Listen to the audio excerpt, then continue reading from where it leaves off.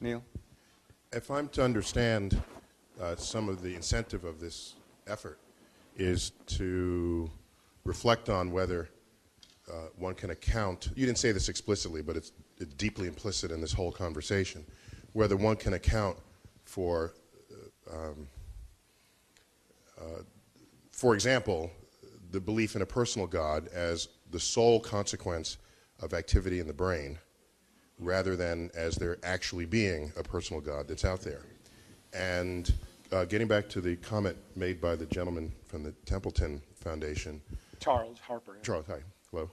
Um, I, I think there is, in fact, uh, there are, in fact, tests. You said is there a shred of scientific evidence that refutes the personal God. I don't want to put words in your mouth, but I think that's the essence of your point. Um, I think there are tests that have been conducted, but they just weren't thought of in the way that you posed the question.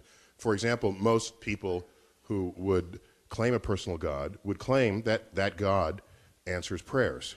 So you can do prayer studies and ask, is what you prayed for under these controlled cir- circumstances replied to, uh, responded to in whatever way you had hoped in your prayers? And from my read of prayer studies, they consistently come up negative when they're done in a controlled way. And when people believe they're being re- responded to, it's because they've removed the, the they only remember the hits and not the misses. Uh, but not only that, I think there's an even bigger case here, and it's summarized simply in the images of the pale blue dot. Um, one wouldn't call this a scientific experiment, but it's a scientific sort of plausibility statement.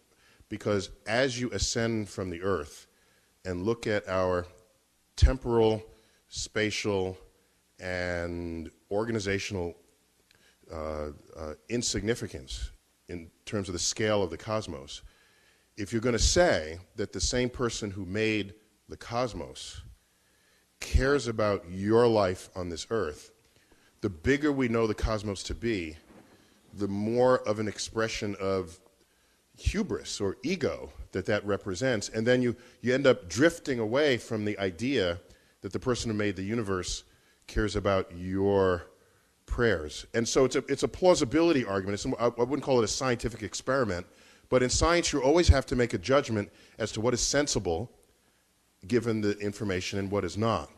And the bigger is the universe, the less sensible a personal God seems. And I just want to get back to the opening remark that, as you said, most people here would not agree to a personal God, even if there was some sensitivity to a God of initial uh, force. Well, it's a good point. And in fact, the uh, most famous example of that experiment of prayer is the one conducted by Francis Galton, who was a cousin of Charles Darwin, who said, well, let's do the simple version of this experiment. Most people in England pray for the king and the queen. You know, God save the king. Long live the king and queen. And then he's found that the average lifespan of the king and queen actually is lower than the general population. So, so he said this obviously disproves the hypothesis. But on the other hand, the counter argument to that is many people say, well, they were not being sincere when they prayed, when they said, God. So it goes on. You know.